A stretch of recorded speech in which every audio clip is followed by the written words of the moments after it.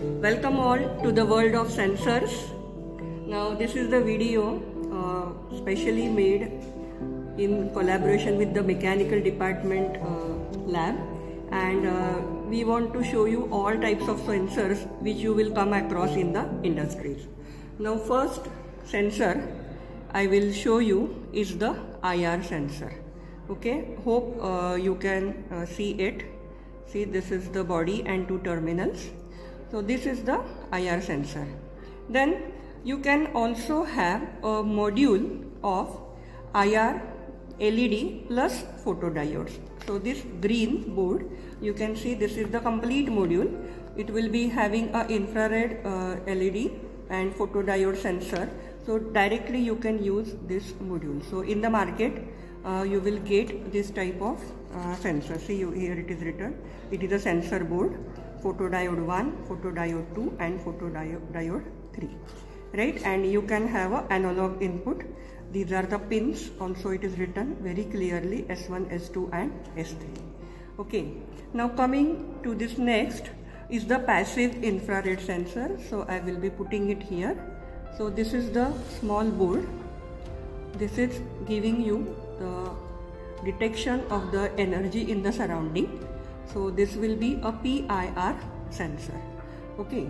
Now next uh, you can see the sensors which is very commonly used in the industry are the proximity sensors.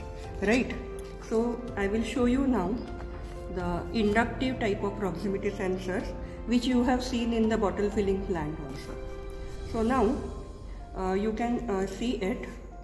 The, this is the switch or this is the actually sensor surface where the presence of the inductive material will be sensed. And here it is a wire given and the terminals which you have to connect in your hardware PLC connection. Okay? So this will be then given to the actuators. Uh, after sensors we generally use the actuator.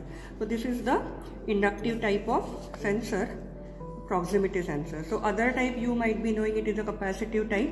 When you this is the stepper motor. This is the shaft. So it rotates in steps. As you all know you can uh, do it actual calculation for the steps. And this is the interface which is uh, provided for the hardware connection in PLC. So this is our actuator. It is a stepper motor. High torque DC motor which is used in automation. So I am keeping it here. See this is the motor. This is the shaft right? These are the two terminals where you can connect and this is the switch provided here. So it is a high torque DC motor used in automation. Now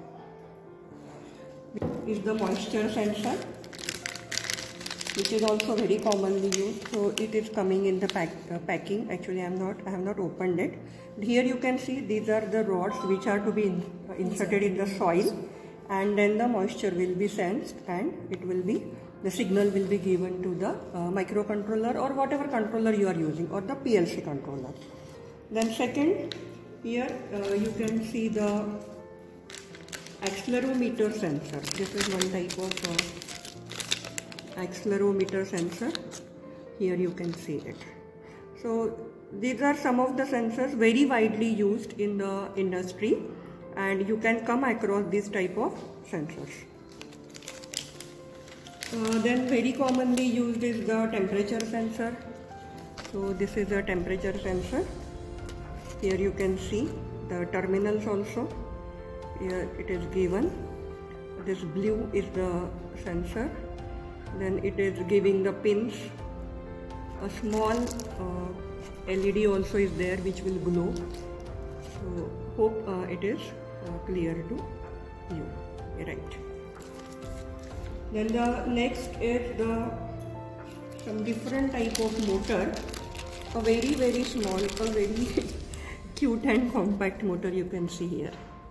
This is a uh, center shaft motor center shaft motor. This is the shaft. This white one.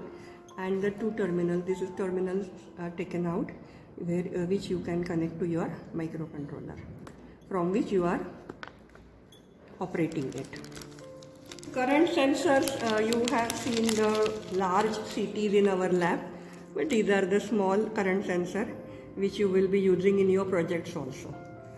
Okay this is a current sensor with the pin outputs so hope uh, all this small video you have enjoyed and uh,